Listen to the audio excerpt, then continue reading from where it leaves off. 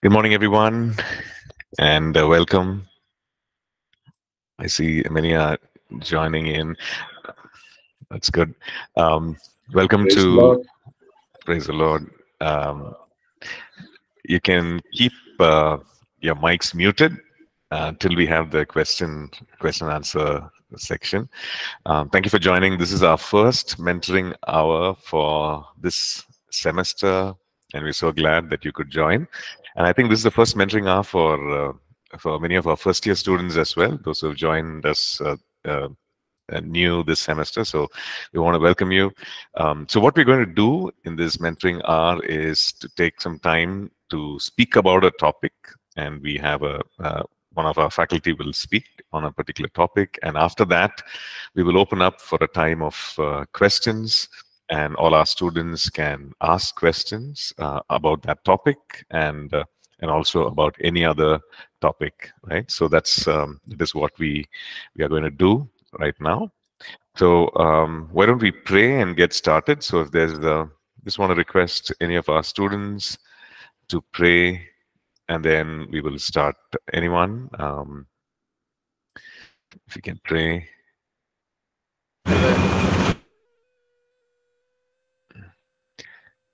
Okay, um, Sri Radha, would you like to pray, and then we'll get started? Yeah, go ahead, please. Okay, Pastor. Father God, we thank you for this time. Thank you for this day. And when we came here for mentoring our God, we surrender everything. We commit this session into your hand, God. And we came here to learn something new. And you reveal it to us by your Holy Spirit, God. And lead us, guide us by your Holy Spirit. In Jesus' name we pray, Amen. Amen. Thank you, Sri Radha. Okay, uh, today we have uh, with us Mrs. Jean George. She's a faculty here at uh, APC Bible College, and she's also a gifted counselor uh, who teaches a course on Christian counseling and Christian marriage and family here. Uh, she has a Master of Philosophy degree in psychiatric social work from National Institute of Mental Health and Neurosciences, and she has um, a lot of experience in uh, teaching and training and doing workshops and counseling and so on. So um, she's going to speak to us, talk to us uh, about on this topic, trauma. So over to Mrs. Uh, Jean George. Go ahead, Jean. Thank you, Pastor Jaykumar. Uh, just checking to see if you can see my screen.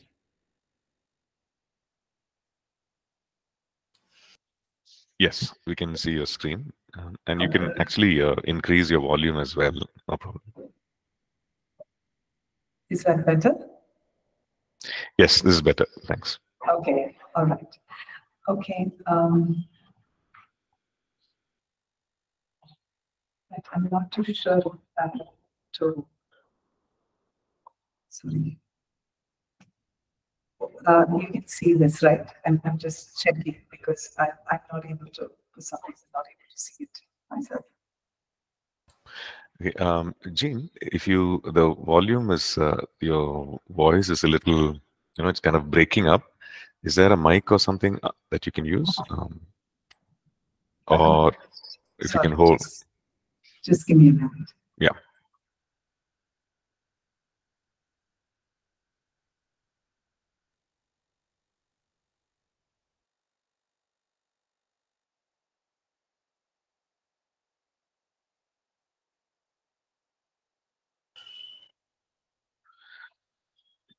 Yeah. So just to give um, um, quick um, understanding of what we're doing here at um, in the mentoring hour for those of you who are joining in. So we take some time to talk on a specific topic. One of our faculty would um, introduce that topic, and then after that, we will have a time of uh, questions. We'll open it up for, for all our students. You can, you know, you can either unmute and ask, or you can put your question in the chat uh, or you can just put your hand up and then you know we'll we'll ask you to uh, you know put forth your question and uh, and then they, they, they will be answered right so this is what we're going to do um, yeah so Jean if you're ready we can start I think you just need to unmute. Uh, yeah. Am I audible now? Oh, yes, very clear. Yeah. Okay. I'm, I'm not sure if I can hear you. Uh, Pastor Jakes, could you just speak? Check, check. Okay. Uh, we can hear. Yeah. Okay. All right. Okay. Thank you. I'm sorry about that. So um, I've chosen the topic uh, called trauma this uh, this mentoring hour, and um, with all that's probably happening in and around our country, I thought it was uh, it was an apt topic to really discuss about. And as a church, as a ministry, I think it's important for us to learn about trauma so that we can create safe spaces for people who have experienced trauma and to help them find support and healing. Uh, we do see that most people have experienced some form of trauma, and I'm sure some of us sitting here have also experienced it as well. Uh, as well, and understanding how it affects people can help us as people as a, as believers to really create that space and avoid something called as re-traumatization. So I hope this session makes us aware of some of the signs of trauma and also how we can create that space where people can feel comfortable sharing uh, some of their experiences. So just to quickly uh, look at what trauma is, it is the response to a very distressing or unsettling event that can actually overwhelm um, a person's capacity to really cope. And this can lead to feelings of helplessness or um, a diminished sense of who they are as people, also a reduced ability to really experience um, a full range of emotions and certain experiences of life. So before we look at some of the signs, uh, uh, one or two facts about trauma is that the responses of different individuals can vary. And so trauma is quite unique to the one that is facing it. So not everyone may experience it in the same way or not or even the same event may not be experienced in the same way. So people can experience it differently. So especially when you when you look at uh, let's say a natural disaster you may find that some people experience significant trauma whereas the uh, others may may um, kind of jump back uh, pretty easily or or pretty quickly.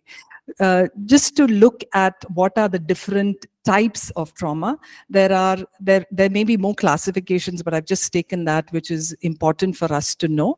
One is called as acute trauma. Now acute trauma results from a single incident. That is a one-time event that can happen to someone. Maybe like a car accident or a single sexual assault or a natural disaster like an earthquake or a flood. So that's what is acute trauma or just a single incident. Then we have um, what's called a chronic trauma. A chronic trauma is that which results from repeated or ongoing uh, incidents that that can persist for very long periods of time. For example, uh, like domestic violence or uh, abuse that happens over either physical, emotional abuse that also happens. Complex trauma is that which results from the exposure to multiple traumatic events, typically from events that are experienced in childhood. So this is something that could start off in childhood and it's usually perpetrated by a caregiver, like a family member, uh, where there is a sense of betrayal or, and a loss of trust. And some of these incidents are incest or sexual abuse or chronic neglect or abandonment in families or human trafficking. So these are the categories that we look at complex trauma. There's also um, the last one is what we called as a secondary or an indirect trauma. So this uh, results from trauma that occurs when one is exposed to or witnesses a disturbing story or an image secondhand. So it's not the person, the, the trauma is not direct to them, but someone who is maybe listening to it or seeing it or actually just being a first, uh, being a witness. So for example, it may be hearing stories of trauma or uh, maybe reading certain file notes or even ministering to people who have faced trauma in some way. So these are important for just for us to just understand because uh, it helps us to know um, sometimes the severity of it. So what when we're looking at the impact of trauma, trauma affects us in all uh, aspects of our lives, in our body, in our mind as well as in our spirit. I'm just going to go through a few maybe pointers, maybe not in detail. When we look at impact on the body, um, trauma can uh, can uh, uh, can manifest physically in various ways. Like it, it can include pain, headaches, issues with uh, digestive systems, with cardiovascular problems, the body stress response becomes overactive. That can lead to long-term health problems. There can be uh, people may also experience somatic symptoms uh, where psychological distress is expressed as physical symptoms like chronic fatigue or pain that is unexplainable. Uh, and another thing that we do see uh, of the impact of the body is the immune system, that chronic stress and trauma can weaken the immune system, making them more susceptible to different infections or illnesses. Um, the impact of trauma is equal even on the soul, which is on the mind, where trauma can disrupt thoughts, leading to difficulties with memory, with concentration, with decision making. They can have intrusive thoughts, they can have flashbacks, nightmares, which can affect their entire functioning on a day to day basis. Trauma can trigger intense emotional responses like fear, anxiety, anger, sadness, uh, overwhelming, overwhelm, and this can be quite persistent, sometimes leading to um, uh, depression or anxiety or something what we call as the post-traumatic stress disorder. Um, they can also be um, uh, it can alter their the perception of the world around making it uh, feel that the world is unsafe or the world is threatening they can feel a sense of helplessness mistrust even sometimes they can feel the sense that they that everything is unreal. They're really not able to experience life in all its reality. And that's the impact on the mind. Impact on the spirit that what we do see is trauma can shake the um, and the individual sense of purpose uh, and meaning in life, it can lead to questions, those existential questions, and a struggle to find meaning and a place to belong sometimes individuals can also experience a, a, a, crisis in their faith where they question their beliefs where where they question their connection with god. This can sometimes lead to a sense of spiritual um, emptiness. And uh, trauma has also seen to challenge spiritual beliefs. It sometimes acts as um, these spiritual beliefs are what really acts as a as a catalyst for growth and resilience.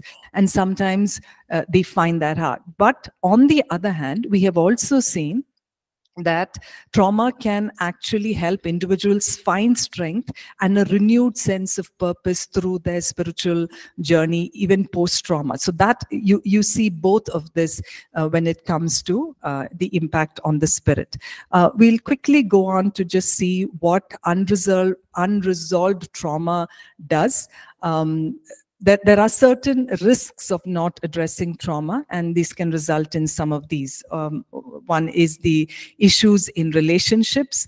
We do find that um, trauma can impact relationships and the individual actually may have difficulty trusting others or understanding what is safe or not. That depends on the kind of trauma that they may have experienced especially in things like violence or in things uh, in uh, acts of abuse. That's when the relationships become difficult. It can lead to substance abuse or addiction uh, uh, the trauma, uh, people who face trauma can um, turn to substances in order to ease the pain that they may be feeling. They can have work challenges where they have issues with focus, with concentration, um, a feeling of a lack of confidence in the ability to work. There is also emotional issues, as we had spoken about, anger, irritability, anxiety, a high level of tension and arousal. There can also be high risk behaviors such as uh, self-harm, or eating problems, you know, is a form of disordered eating, or even risky sexual behavior for those who may be uh, going through trauma. And also, we do see it can cause generational trauma where traits are passed down to children and grandchildren uh, if it is not addressed uh, in the in the individual itself. Um, then uh, the last uh, slide that I want to quickly bring about is what can we do and how can we bring about healing. So ministering to someone uh, who has experienced trauma uh, definitely requires sensitivity.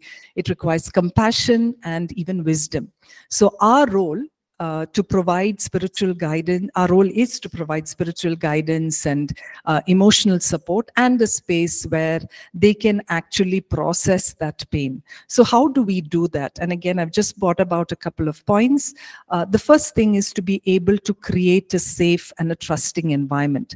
Um, uh, trust uh, to build a relationship that is based on trust and confidentiality is one of the real most important things to create that space. So making it clear to them that whatever they share will be kept in confidence unless that there is a risk of harm to themselves or others. Sometimes um, uh, you know we notice that when people do share about trauma um, maybe as as a, as a way of encouraging other people we may share out personal stories which can actually make the person who shared it with you feel quite unsafe.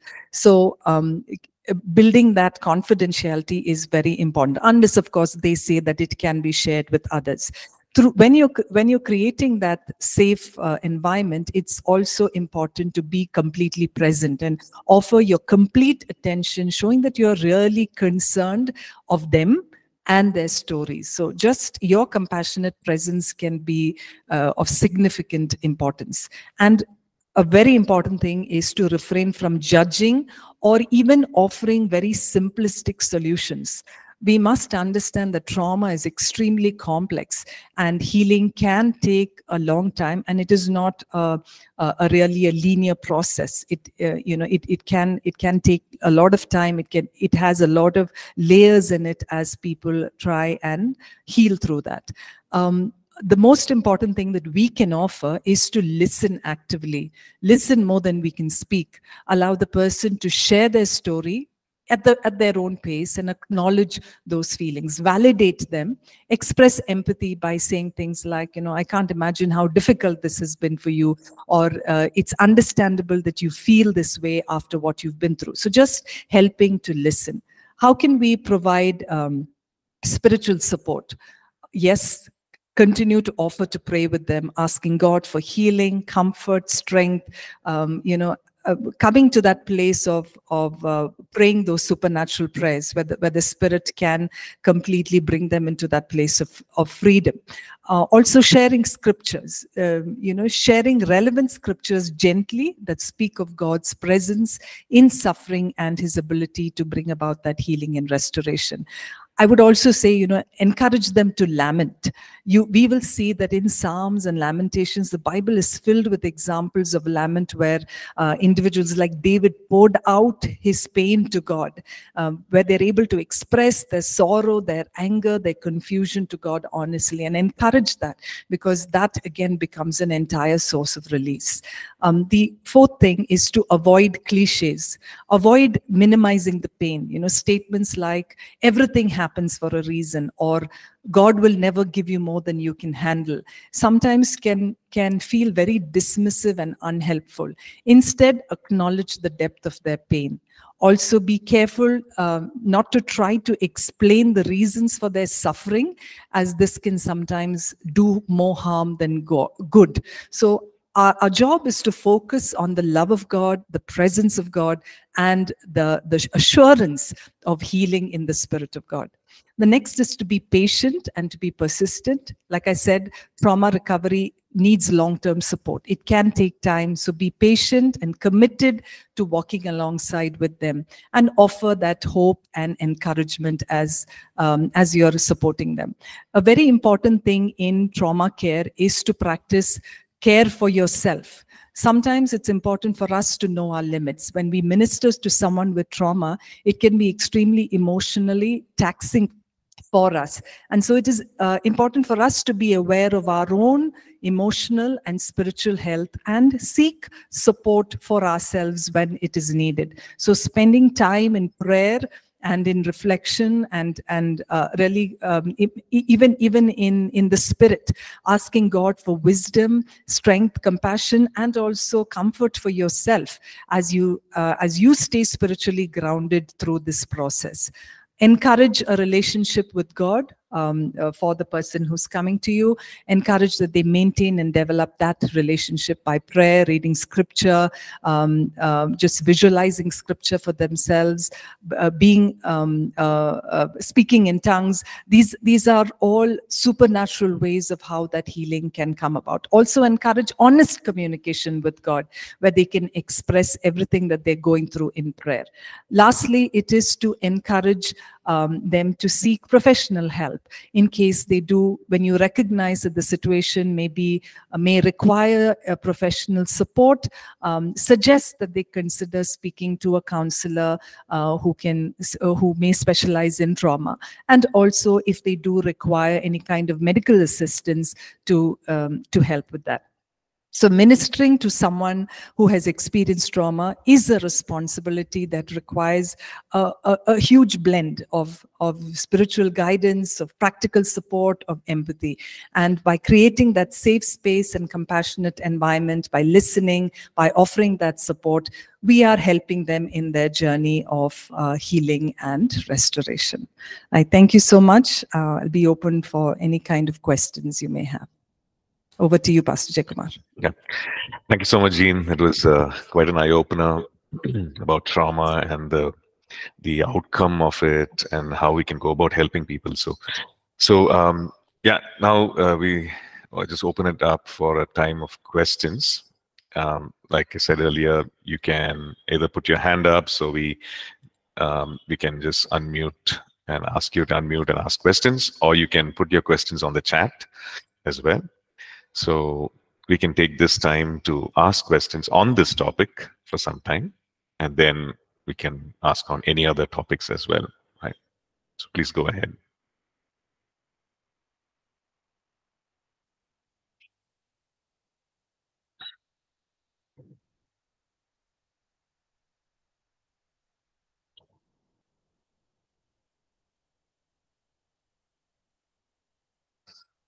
Um, yes, uh, Jeevan, uh, please go ahead. You can ask your question.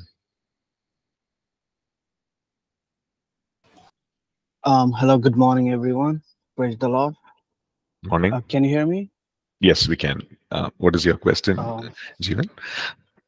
um, yes, my question basically, uh, the whatever we have here ju- just now, uh, it's just happening to me. Like uh, I've been going through uh, severe trauma these days, and uh, the the recently I hear everything about it is happening to me, and I hope I can really get uh, help with this uh, situation, and I don't know how to deal with it. And one of the reason I joined this uh, Bible college, uh, this uh, uh, is one of the reason that I wanted to get rid of my situation that I'm facing right now.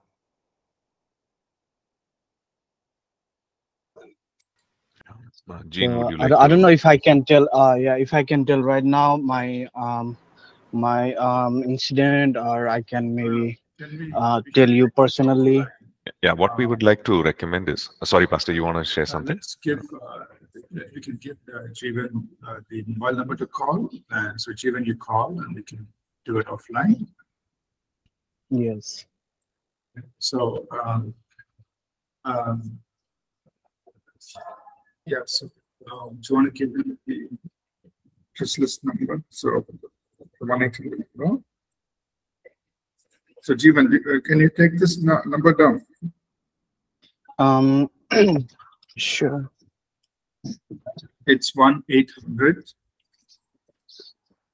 You said one eight. okay, I'll just put it in the chat, all right? So, one eight hundred three two, three, four, First, I'll just share the number here. Yeah, so just call that number and then you can ask to speak to a counselor and they will help. you. Yes. Okay. Okay. Thank you. Thank you. Thank you, Jeevan. Thank you. Okay, so we have a question um, here from Rin. Can a person being traumatized get possessed? So this person is undergoing trauma. So does that open up for that person to become possessed? Jean? Yeah. Thank you, Ren. I'll, um, uh, I'll, I'll put in a couple of thoughts and then I think I'd leave it open also to the other pastors.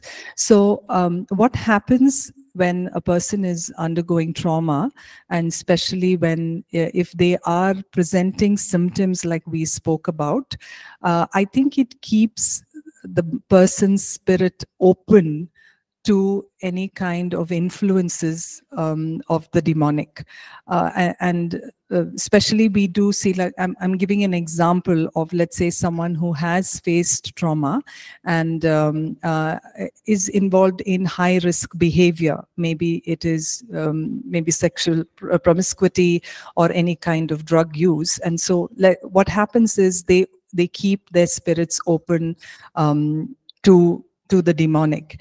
And there can occur as a result um, uh, spiritual uh, spiritual issues that that come about. Because uh, a person who is undergoing trauma is definitely in a place um, with their minds quite unguarded. And so the the um, the the openness of the of a of a spirit to to come in and to really uh, bring about that possession is quite high. And and that's why uh, especially i think especially among believers uh, who have gone through trauma one of the first things that um, maybe in our counseling that we do actually we do act we do is to really see the impact of how their relationship with god has been because in order to uh, close those doors they, they would need to come back to a place of a, a, a sense of building renewing that relationship with god. So in the way that i've seen it or at least through experience i do i have seen that when people do open up their spirit their heart uh, to what is evil there can be also possession. I think i'll just oh, leave leave it to that and open it to other pastors to comment as well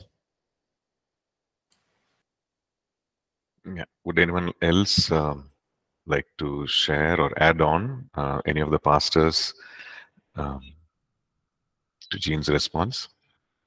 Um,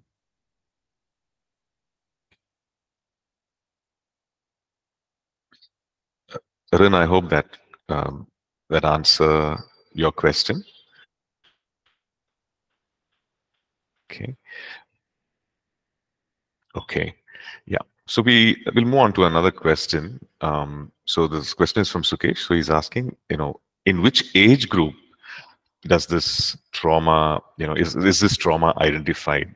You know, which, which age, age group undergoes trauma? And uh, so probably his question is like how young or how old? Um, yeah, Jean. So, um, uh, like we spoke about, there are different types of trauma. so, if if they are more individualized trauma, like for example, uh, um, sexual assault, sexual abuse at a young age, uh, or th- there can be traum- traumatic um, experiences that they uh, th- that they um, that you can see, but of course the person who is going through trauma or the child who is going through trauma may not be able to label it as trauma.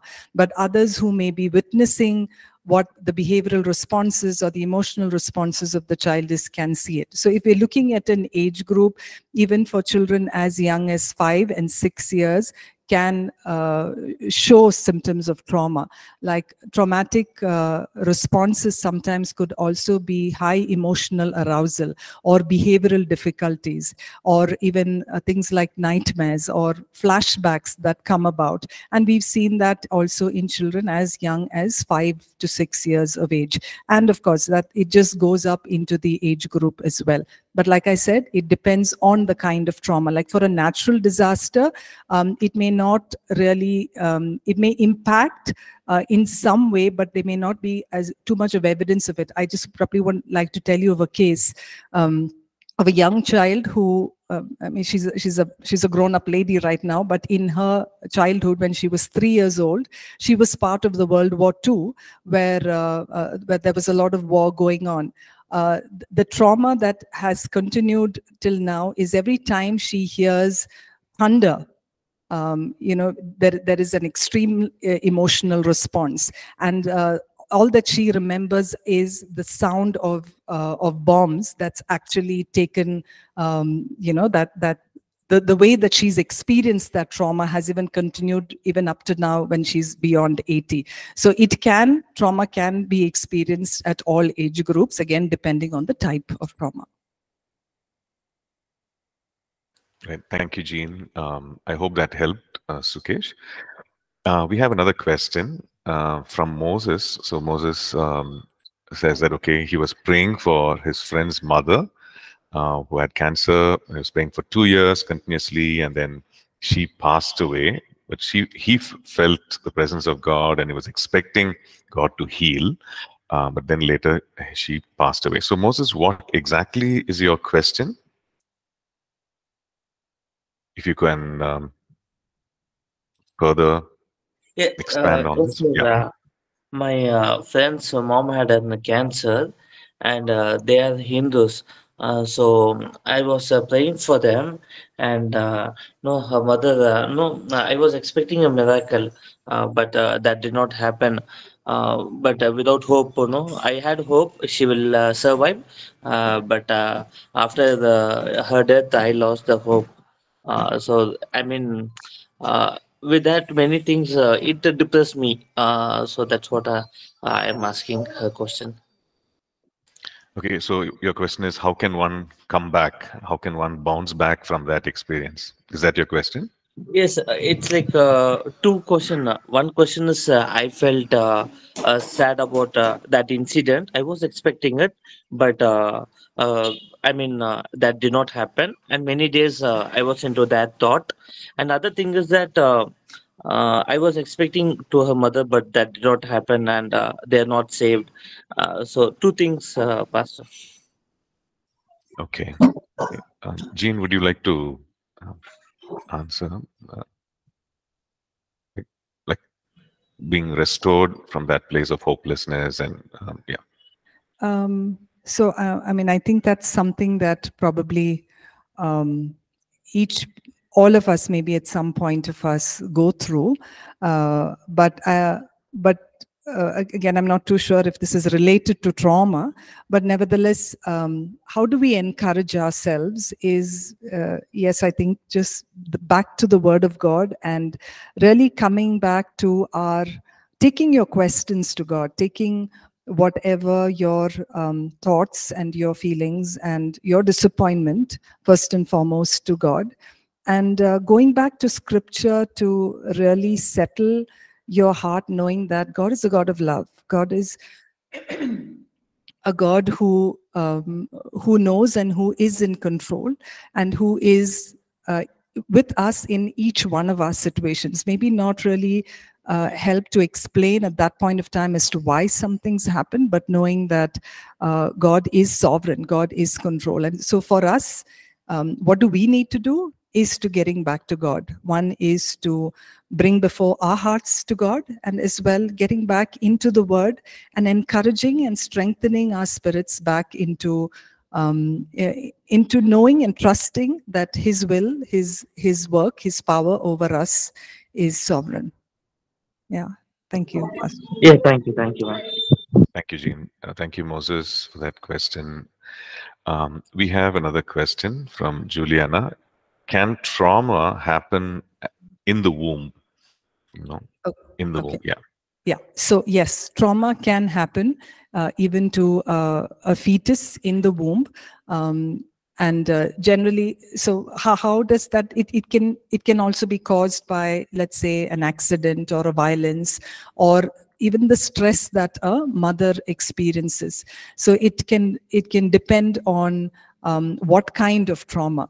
But how it affects the fetus is especially through maternal stress. That is when the mother goes through some kind of a, uh, of a trauma.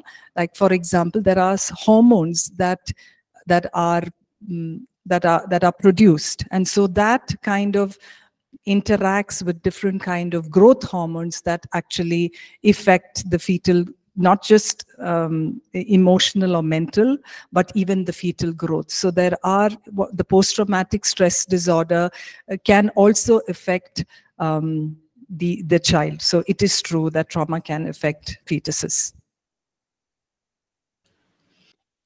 Thank you, um, thank you, Jean. Um, Juliana, hope that helped. Do you have a follow-up question, or is that fine? Okay. Um, um, I just want to ask, um, then how is such kind of a person ministered? How are they helped? Uh, so how, how is such a kind of a person who has experienced trauma in the womb, um, how are they helped?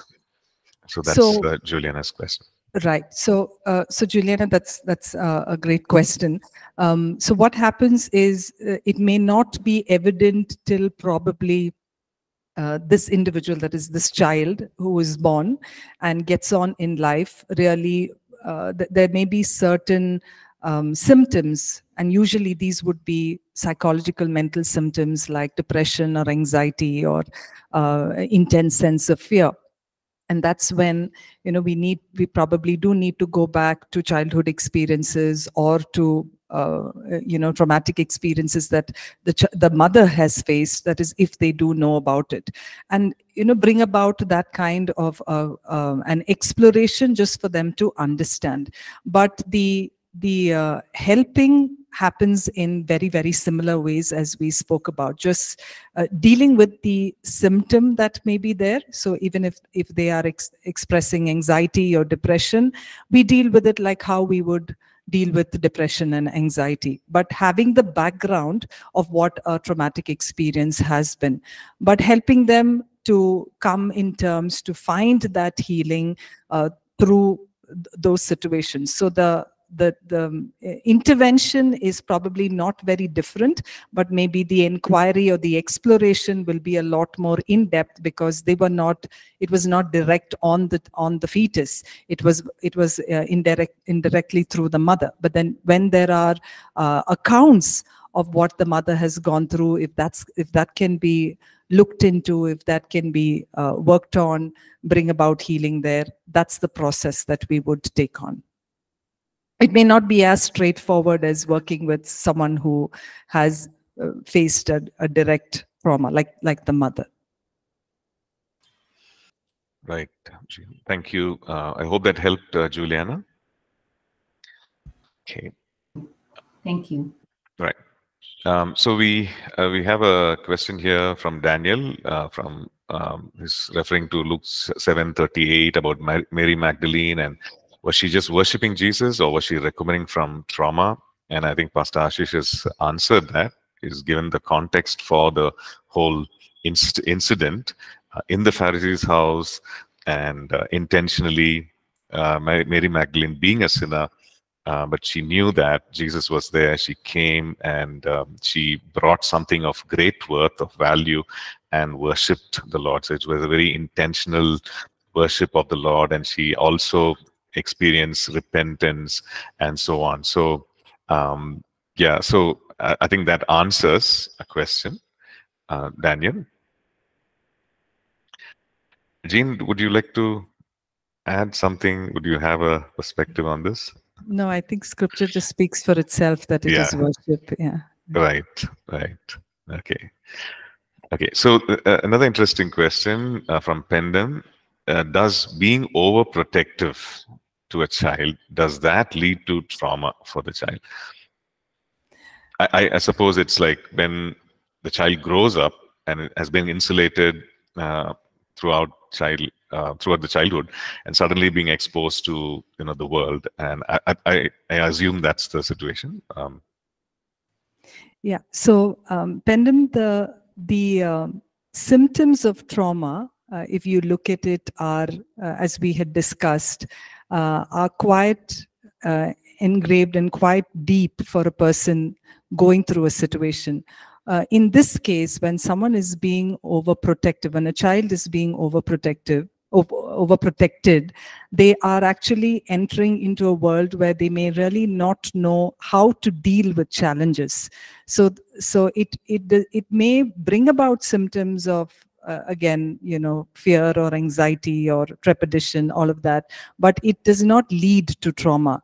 Uh, however, let's say an overprotective child probably uh, when, when we're looking at overprotection, we're also looking at where um, there haven't been skills of resilience that have been built into a child through through different life skills you know we all learn life skills when we are put into situations where uh, we need to learn how to manage things. So if a if a child is overprotected and someone's always taking care of every kind of need for the child definitely resilience is a is a lot lesser. They in in order to face the world face the kind of challenges that they may come about you may need to have some kind of an experience of dealing with that. Now that can um, that uh, in itself could lead to trauma but being overprotective being protected cannot lead to trauma but as a consequence if they do go through some traumatic experience that of course uh, they have very very poor ability to cope so that may lead to a trauma certain traumatic symptoms i hope that i answered that Okay. Thank you, Jean. Um, I hope uh, that answered. You can put on the chat if uh, that that answer was satisfactory. Okay, we have another question from Rin. Um, what is the best way to avoid trauma? And I guess one more question I have is, is it possible to avoid trauma? And what is the best way to avoid it? Yes. Uh, yeah, so I, I don't think it is uh, it is totally possible to avoid trauma. Um, we may all have faced traumatic experiences at some point of time. But what can we do is how could we keep ourselves protected from keeping ourselves being affected by traumatic experiences maybe uh, i think would maybe a, a question to ask and that is yes building ourselves in every area of our lives, whether it's our body, it's our soul, it's our spirit. To um, so and and if we're looking at it uh, wholly, um, especially in the in the soul and in the spirit, is to build ourselves. Uh, in in these kind of experiences to really understand where our identity comes from i think a lot of issues when it comes to mental health uh, arises from the fact that we have misplaced identity. Our identity is in something that uh, that when we lose, we kind of break. Uh, all our walls just break down. So uh, for us in our spirit to really uh, be assured of where and who our identity is in. And I, I know all of us as Bible college students absolutely know where our identity needs to be in. So if that's something that we can, you know, keep intact by our relationship with God and and really um, having the Word of God just speak to us, that I think is the best, like I say, a protective factor to deal with trauma. Um, another thing also would be a willingness to open up uh, in case of um, of having maybe an initial traumatic experiences. Uh, what we do see, especially in individuals who have been multi uh, who have been sexual abused multiple times, they do not open up or they do not um, reveal what they're going through, and as a result, it turns into complex uh, abuse. So that that's one thing. Just to be in a place of uh, being willing to share. I think the third most biggest aware, um, uh, important thing is awareness of learning that these kind of situations can cause trauma. Uh, and that's why you would see, uh, you know, of, of the last 10 years especially, parents teach their children on safe and unsafe touch. Why is it? So that they are aware that they can protect themselves in whatever possible situations that they are in in order to avoid situations like like trauma. So so it's these factors that can protect you um, from from these from traumatic uh, uh, situations, not situations, traumatic uh, symptoms that may come about. Right. Thank you. Thank you, Jean. Um, I hope that helped, uh, Rin. So we cannot avoid tra trauma. It is possible, but then we can definitely protect ourselves, right?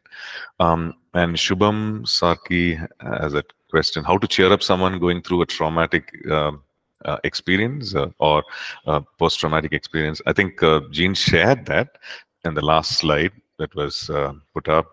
Um, those eight points. Um, just want to request you to just go over that again.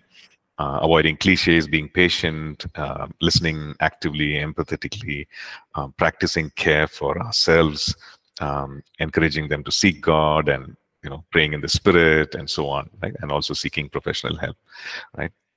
Okay. Um, so any other questions? Okay, being alone, does it lead to one experiencing trauma? Um, I think it's from Penden. Being alone in isolation, uh, does it lead to a traumatic experience? Maybe in the in the case of you know the elderly, or maybe because of life situation, they are in isolation. They don't have interaction with others, um, other human beings, and can this lead to uh, a trauma? Uh, I mean, trauma. Uh, so I'd like to, um, uh, you know, the same thing that I did mention in the previous one is the response of trauma is extremely distressing uh, to uh, distressing to the individual to a certain event and that actually brings about a whole lot of overwhelming for a person's capacity to cope. We, we had spoken about that. But being alone uh, can independently cause other kind of issues, not really trauma, not a, a traumatic experience, but it, there can be a sense of isolation, sense of withdrawal, um, inability to um, uh, socially interact with people can definitely cause other kind of mental health uh, challenges, not trauma specifically. Right, Jean. Thank you. Um, just one last question. I think we're almost there at the end of this today's session. Um, so uh, I have a question like, if a person identifies, okay, uh, that, okay, I'm going through, I'm having these symptoms of, uh, of a traumatic experience, um, then can that person, does that person necessarily have to reach out for help? Or you know, can that person by themselves, when they turn to the word of God and prayer and can they walk to wholeness on their own? Uh, is it possible? Uh, I'm, I am sure that is possible. Um, ha, uh, I think the benefit of having someone walk alongside uh, a person with who's undergone a traumatic experience is to sense um, support and also have someone to journey with them through that entire um, healing process or that recovery process.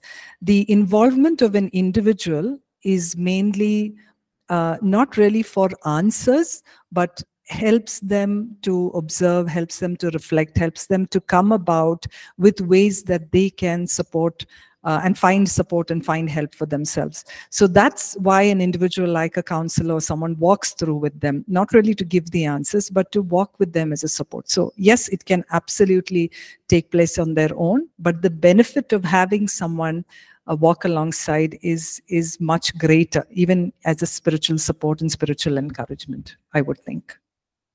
So does it hasten the process, hasten the healing when there's someone who is walking alongside? like like I did mention, uh, um, recovery of trauma is not uh, it's not a linear process, and and how much time it takes for somebody maybe uh, you know it's questionable. But but yes, I think walking with someone, there is someone who who is there could help could help. I I'm not too sure if it hastens it or not. I may not be able to accurately answer that question. Right. Yeah, I understand. Thank you. Yeah, we have one last question, uh, Abhishek Sagar.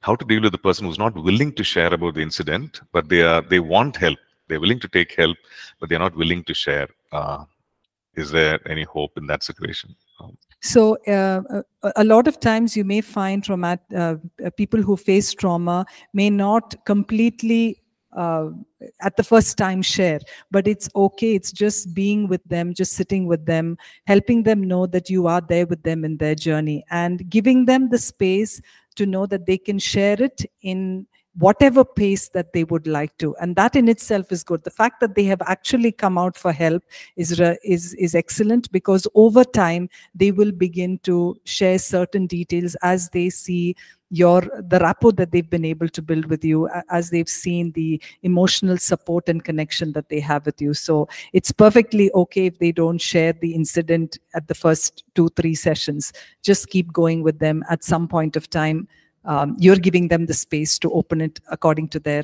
pace and timing. Right, right. Thank you, Jean.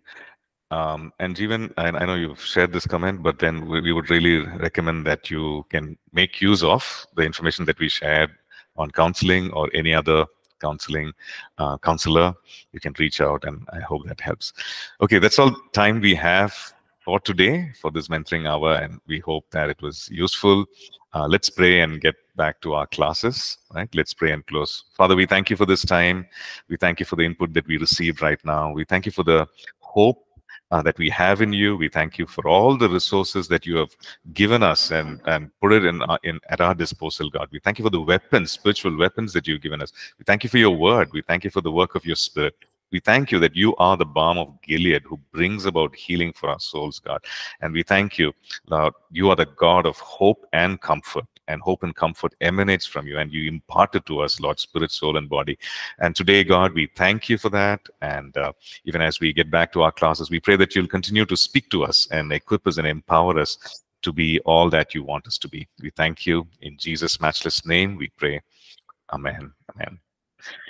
Thank you once again, Jean. Thank you, faculty and students. Uh, look forward to our next mentoring hour. Uh, just look out for our email notification and make sure you don't miss that out. Okay, God bless. Bye-bye.